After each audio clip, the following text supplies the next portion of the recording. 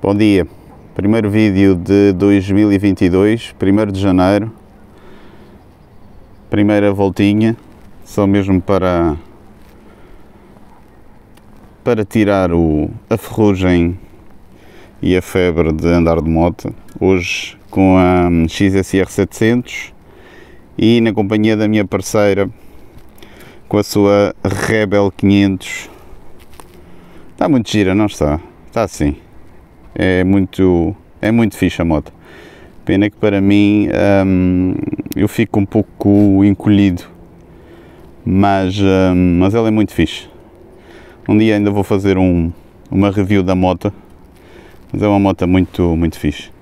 Bem, era só para vos deixar hum, muita saúde este novo ano.